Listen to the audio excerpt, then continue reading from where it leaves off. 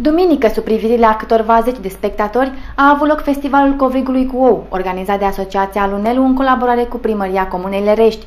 Festivalul a început printr-un concert folcloric cu ansamblu și artiști atât din municipiul Câmpulung cât și din comunele limitrofe.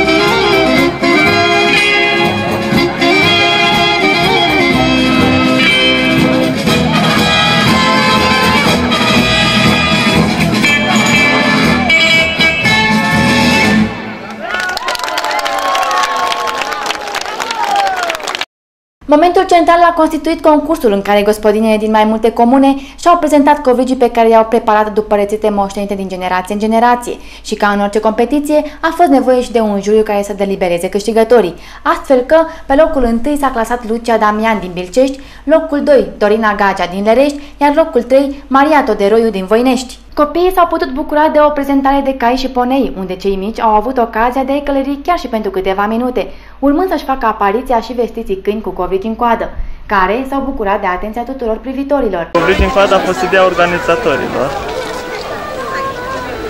Eu doar am venit cu căței. Dumneavoastră?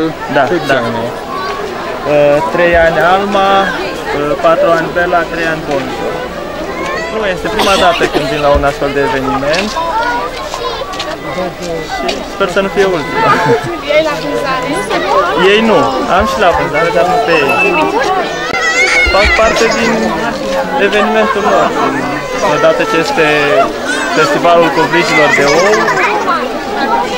cred că a fost o idee destul de bună. Otilia Bădescu, fosta campioană internațională la tenis de masă, Corina Ungureanu, fostă campioană mondială și europeană la gimnastică, împreună cu Noris Măgeanu, au fost imaginea festivalului.